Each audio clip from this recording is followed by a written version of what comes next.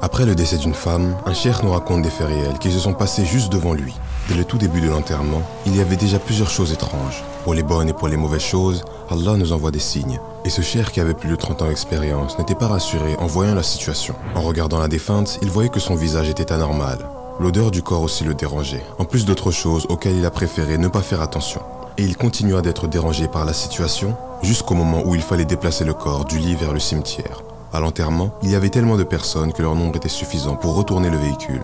Et pourtant, quand ils ont voulu porter cette femme pour la mettre dans la tombe, elle ne bougeait pas d'un centimètre. Il y avait cinq ou six frères qui se chargeaient de la porter, mais elle ne bougeait pas. Ils faisaient tout leur possible, mais rien à faire. Le corps restait au même endroit.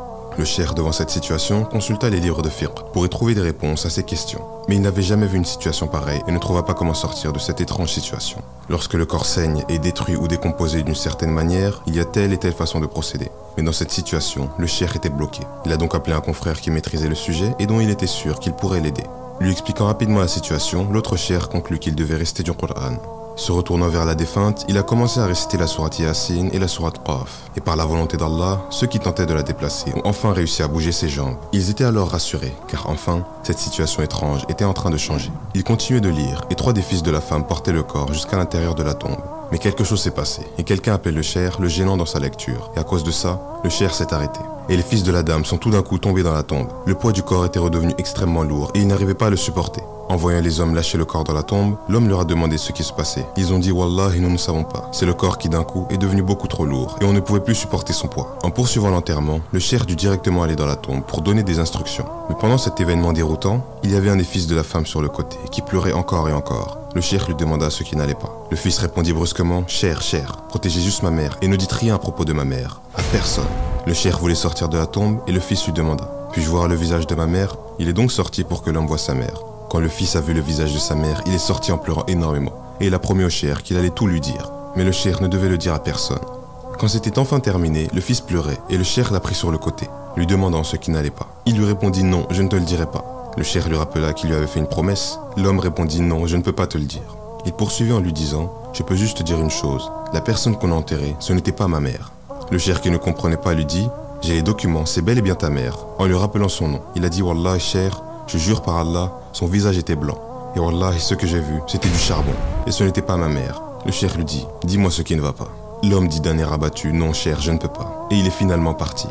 Quelques mois plus tard, le cher nous rapporte qu'un homme est venu le voir. Un homme avec une longue barbe en lui disant Te rappelles-tu de moi? Le cher lui répondit Non, je ne sais pas qui tu es. Te rappelles-tu de moi il y a quelques mois, lorsque le corps refusait d'entrer dans la tombe? Je suis le fils. L'homme avait changé et était totalement différent. Il lui dit Alhamdulillah, je me suis repenti et j'ai changé. Le cheikh lui demanda Pourquoi es-tu parti sans me dire la vérité? Tu m'as fait une promesse et tu dois la tenir. L'homme répondit Je vais te dire exactement ce qui s'est passé. Ma mère, durant toute sa vie, elle n'a pas prié une seule fois et c'est pour cette raison qu'elle refusait de partir. Et même en étant morte, son corps refusait d'entrer dans la tombe. Et c'est en voyant ça que je me suis mis à pleurer en retirant ce qui couvrait son visage et en voyant son visage totalement noir. Ce n'était pas ma mère. J'étais encore plus triste et c'est ce qui m'est arrivé. Les gens ont donc vu cette triste situation. Et la raison pour laquelle le corps refusait d'entrer dans la tombe était parce que cette femme, pendant toute sa vie, n'avait jamais voulu faire sa prière. Chère sœur, cher frère, si tu n'accomplis pas la prière, cette histoire doit te faire réfléchir. Allah t'a tout donné, que ce soit tes biens, ta famille, ta situation et même l'outil avec lequel tu regardes Jannah TV. Qu'avons-nous à ne pas être reconnaissants envers Allah, alors qu'il nous a donné tout ce qu'on possède, cela totalement gratuitement? Ne connaissez-vous pas la parole d'Allah qui nous dit dans la sourate Ibrahim Si vous êtes reconnaissant, très certainement, j'augmenterai mes bienfaits pour vous, mais si vous êtes ingrat, mon châtiment sera terrible. Ces prières qui dans la journée nous prennent au maximum une heure, seulement si on décide de les prolonger. Elles constituent notre lien le plus important avec celui qui nous a créés. Ne passons-nous pas du temps à discuter avec nos amis jusqu'à oublier l'heure qu'il est? Ces films, séries et jeux vidéo qu'on pourrait continuer pendant des heures sont-ils plus importants que notre lien avec notre Seigneur? Rapprochons-nous de ces actes obligatoires qui ne nous causeront que du bonheur et ne causons pas notre propre perte jusqu'à ce que survienne notre dernière heure. Se divertir est autorisé tant que cela reste contrôlé et que nos adorations en conséquence ne sont pas totalement délaissées. Ne gâchons pas notre éternité par des plaisirs limités et adorons notre Seigneur comme il se doit pour que de la meilleure manière notre vie puisse se terminer.